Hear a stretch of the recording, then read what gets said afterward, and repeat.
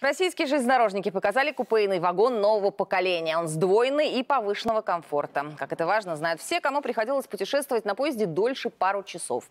Внутри, кроме обычных полок, все, что нужно в пути. Душевые кабины, откидные столики, регуляторы температуры, индивидуальные сейфы. Есть даже кухня, но не такая, где заправляют проводники. И микроволновкой, и холодильником теперь могут пользоваться все пассажиры без каких-либо ограничений.